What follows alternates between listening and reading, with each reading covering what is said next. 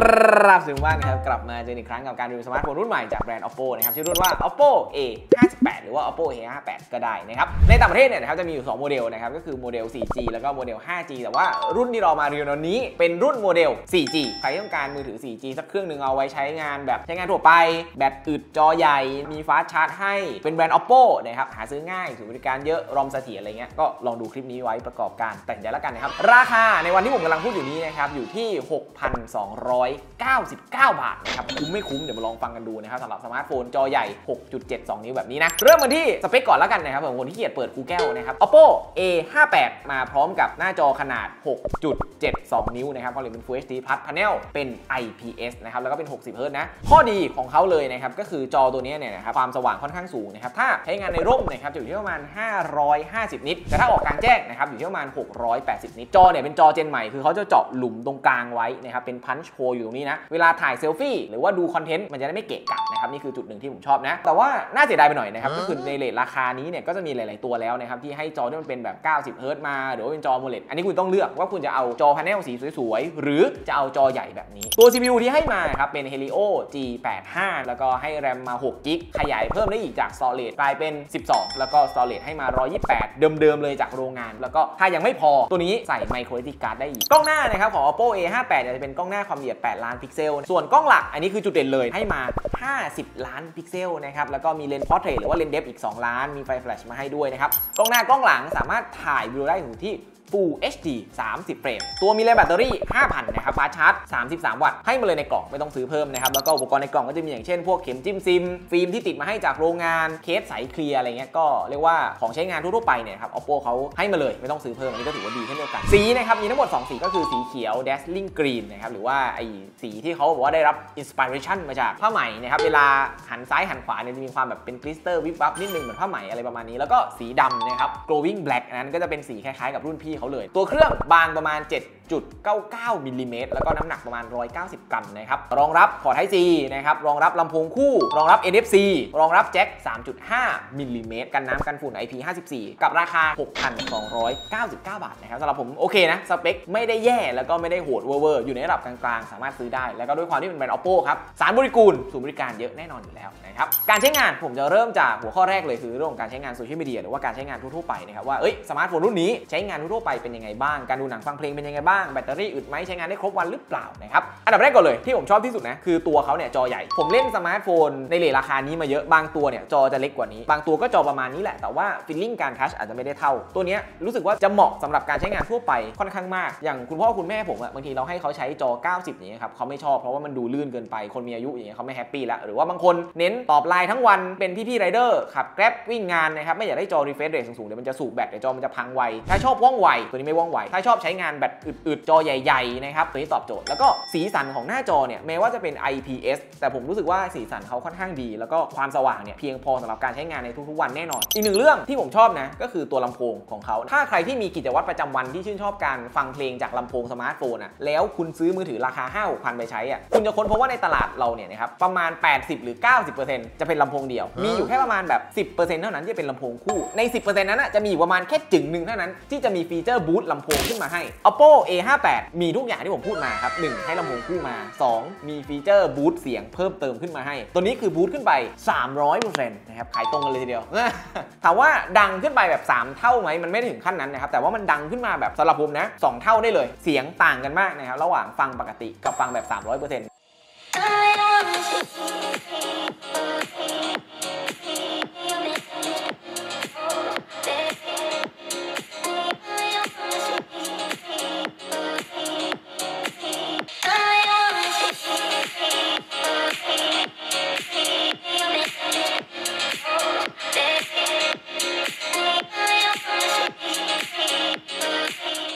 คุณชื่นชอบการคุยโทรศัพท์ ตัวเขาเนี่ยนะครับจะมีฟีเจอร์ boost เสียง ในระหว่างที่เรากำลังใส่หูฟัง Small Talk มันสามารถเร่ง volume ได้เป็น 200%สำหรับหูฟังด้วยนะครับนี่ก็เป็นอีกหนึ่งฟีเจอร์ที่เออเขาให้มาในเรื่องของตัวลำโพงแล้วก็ค่อนข้างดีเลยนะครับอีกหนึ่งเรื่องที่ผมชอบก็คือการดูหนังฟังเพลงนะครับคือด้วยความที่ว่าหน้าจอมันใหญ่แล้วก็ตัว Oppo เนี่ยนะครับได้ไป collab กับทางฝั่งแบรนด์ใหญ่ๆอย่างเช่น Netflix Amazon Prime นะครับตัวเนี้ยคุณสามารถดู Netflix ได้เต็มความละเอียดสมมติว่าคุณซื้อแพ็กเกจ Full HD มา หรือแบบ 4K มาอะไรเงี้ยครับแล้วอยากจะดูให้มันเต็มความละเอียดหลาย ๆ ยี่ห้อจะต้องไปนั่งลุ้นว่าจะเป็น L1 หรือ L3 ไอเนี้ยเป็น L1 Netflix Certify ดูแบบ HD ได้นะครับ หรือว่าจะเป็น Amazon Prime ก็ได้รับ Certify จากเขาเช่นเดียวกัน แล้วก็ค่าขอบเขตสี DCI P3 จอตัวนี้นะ แสดงผลได้แบบ 100%ดังนั้นใครชอบดูหนังสีสันดีจัดไปได้นะครับ แต่ว่าด้วยความที่มันเป็นจอ IPS ครับที่ต้องเล่าไว้ก่อนว่ามันไม่มีทางสู้แก๊ง AMOLED ได้ มุมมองในการแสดงผลความสดของสีอะไรเงี้ยมันดีสุดสำหรับ IPS แต่ถ้าคุณชอบ AMOLED ราคานี้ก็มี AMOLED ที่จอดีกว่านี้มาให้ได้เลือกอยู่นะครับนี่ก็ว่าไว้ตามเนื้อผ้านะครับไม่ได้ขายตรงกันนะ จุดที่ผมไม่ชอบในการใช้งานทั่วๆไปเหรอ น่าจะมีอยู่แค่ความว่องไวละมั้ง คือถ้าเกิดว่าคุณชื่นชอบความว่องไวอะครับ ตัวนี้มันไม่ได้ไวเวอร์ๆแล้วก็มอเตอร์สั่นที่เขาให้มาเนี่ย มันจะเป็น feeling แบบสั่นแบบนุ่มนิ่มนิดนึง ให้ดีที่สุดเลยนะ คือไปปิดเวลา touch แล้วมอเตอร์สั่นมันทำงาน อันนั้นก็จะดีขึ้นมาอีก แต่ว่าก็ยังรู้สึกว่ายังไม่ได้ว่องไวมาก ดู Netflix 1ชั่วโมง แบตเตอรี่ลดไปประมาณ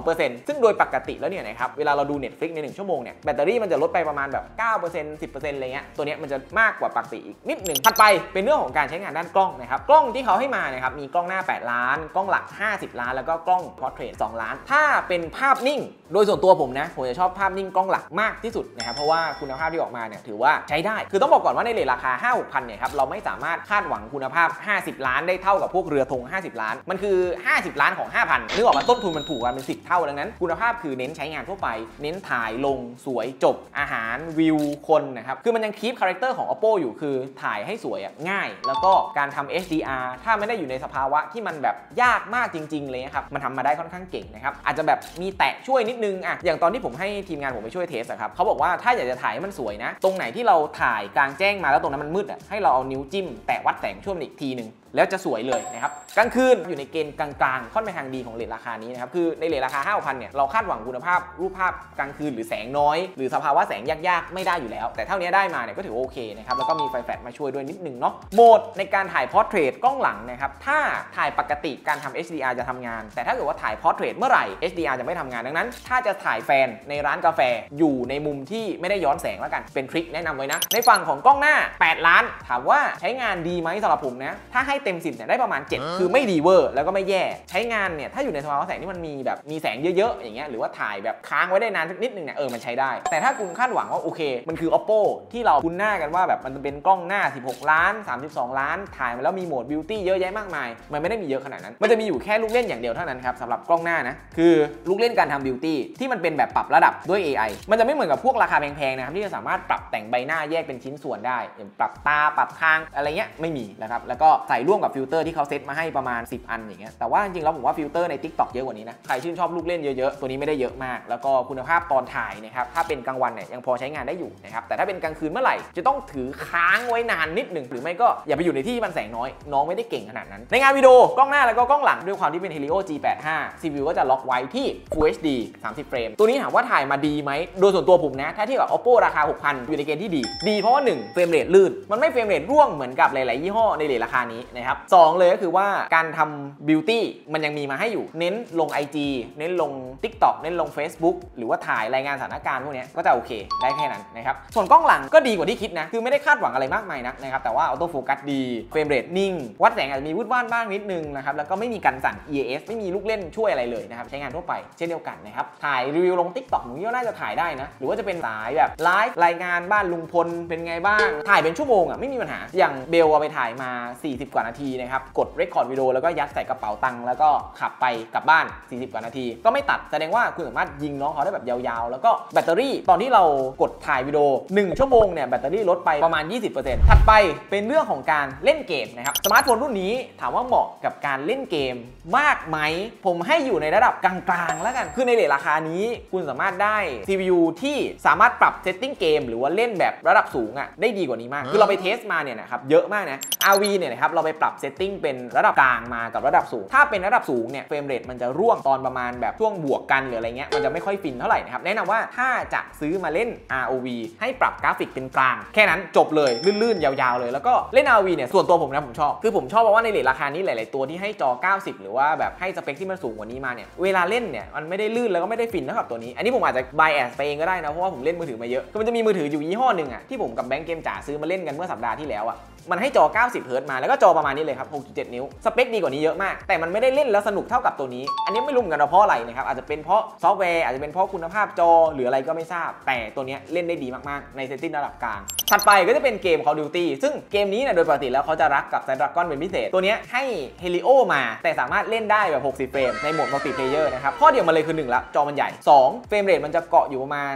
45 50 55 ซึ่งก็อยู่ในเกณฑ์ที่ลื่นมากๆ แล้วก็ feeling การ touch ดี แยกเสียงซ้ายขวาได้นะครับ ข้อเสียของมันคือถ้าใครที่ชื่นชอบการเล่นเกมกับ gyroscope gyroscope ของมือถือราคา5 6 0 0เนี่ยไม่มีตัวไหนเลยเล่นได้ดี ตัวนี้ก็เช่นเดียวกันนะครับก็รู้สึกว่าโอเค เล่นกับมือเอาแล้วกันอย่าไปใช้ gyro เกมถัดไปนะครับก็คือเกม PUBG Mobile แนะนำให้ปรับกราฟิกเป็นสมดุล frame rate เป็น ultra นะครับมันก็จะได้อยู่ที่ประมาณ 40 frame rate นะแต่ถามว่ามันเล่นได้ 40 frame rate ตลอดไหมเนี่ยครับต้องบอกก่อนว่าไม่ได้ตลอดมันจะ 40 อยู่ประมาณสัก 10 นาที ถัดไปเนี่ยก็จะ drop ลงมาเหลือประมาณ 20 แล้วก็กลับขึ้นมา 30 แล้วก็ลดลงมาอีก 20 คือ frame rate จะค่อนข้างแกว่งแล้วก็ PUBG Mobile ก็คล้ายๆกันเลยกับตัวเกเกม Call of Duty นะครับก็คือถ้าเกิดใครชอบใช้ gyroscope เกมนี้ไม่ค่อยเหมาะด้วยความที่ว่าสมาร์ทโฟนมันราคาถูกเนาะคุณภาพของ gyro ก็จะไม่ได้ดีเท่ากับพวกราคาแพงๆดังนั้นแจ้งไว้ก่อนเลยว่าอย่าใช้ลำโพงแยกเสียงซ้ายขวาได้นะครับแต่ก็ยังไม่ได้ฟินอยู่ดี เพราะว่าตัวเกมเนี่ย frame rate มันไม่ค่อยนิ่งนั้นใครจะซื้อมาเล่นเกมอย่าง PUBG Mobile อันนี้ไม่ค่อยแนะนำเท่าไหร่ครับ eFootball เนี่ยเราสามารถปรับกราฟิกเป็นสูงสุดได้frame rate เป็น 60 นะครับ เบลบอกว่าความลื่นเนี่ยจะอยู่ในระดับ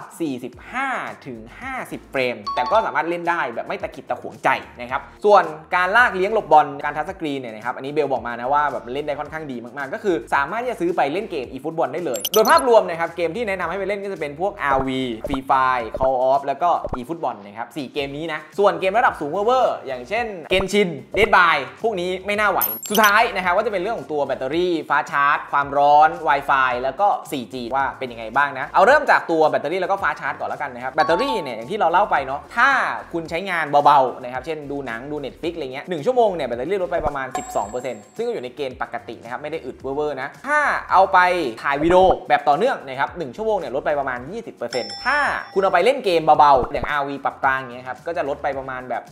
16-17%ใน 1 ชั่วโมง แต่ถ้าเล่นเกมระดับสูงเวอร์ๆขึ้นมา ก็จะลดไปประมาณ 20%ใน 1 ชั่วโมงนะครับ นี่คือลักษณะการใช้งาน แล้วก็ผมได้ไปดูตามสเปคชีทที่เขาเคลมมานะ จากโรงงานเขาบอกว่าคุณสามารถที่จะเล่นเกมต่อเนื่องได้ยาวนาน 5 ชั่วโมง ถามว่าจริงไหม เท่าที่เราทดสอบมา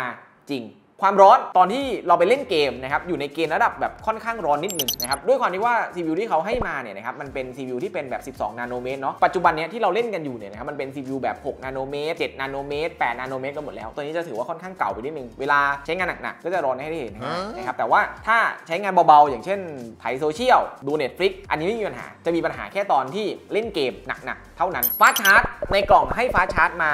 33 วัตต์ แล้วก็มีเรียแบตเตอรี่เนี่ย 5,000 มิลลิแอมป์ตาม spec sheet ที่เขาออกมา คือใช้เวลาชาร์จ 0 ถึง 100 เนี่ย ประมาณ 75 นาที ผมให้เบลไป test มาให้นะครับ อยากจะบอกว่าเวลาแม่งเท่ากันแบบเป๊ะเลย แบตเตอรี่ที่เราไป test มานะครับ เรา test จากแบตเตอรี่เริ่มต้นอยู่ที่ 2%นะครับ 15 นาทีแรกนะครับ เราจะได้แบตเตอรี่มา 30%นะครับ ครึ่งชั่วโมงจะได้แบตเตอรี่มา 52% 45 นาทีนะครับ เราจะได้แบตเตอรี่มา 74%นะครับ 1 ชั่วโมงเราจะได้แบตเตอรี่มา 90%แล้วก็ชาร์จเต็ม 100%ใน 75 นาทีอย่างที่เขาเล่ามาก็คือ 1 ชั่วโมงกับอีก 15 นาทีเป๊ะ ๆ เลยนะครับ speed ของตัว Wi-Fi กับสปีดของตัว 4G เดี๋ยวให้ดูนิดนึง ให้ดูสปีด Wi-Fi นิดนึงก่อนนะครับ สปีด Wi-Fi เนี่ยนะครับสูงสุดที่เราวัดได้จะอยู่ที่ประมาณ 350ทับ350 นะ ก็เป็นปกติของ Wi-Fi 5 นะครับ แล้วก็ 4G ครับ จะอยู่ที่ประมาณ 50ทับ50 อยู่ประมาณนี้ก็เป็นเกณฑ์ปกติมาก ๆ เลยนะครับของ Wi-Fi กับของ 4G ใครอยากจะใช้งานเน็ตไวๆหรือว่ามีเน็ตพันเมกอยู่ที่บ้านแล้วตกใจว่าแบบเฮ้ย run speed test ได้ได้ 350 เป็นปกติครับของสมาร์ทโฟนเลยราคา5,000ก็ยังเป็น Wi-Fi 5 อยู่นะครับแล้วก็ไม่สามารถใช้งาน 5G ได้นี่ย้ำไว้นิดนึงนะสำหรับผมนะสมาร์ทโฟนรุ่นนี้คือทำมาเพื่อคนที่ต้องการ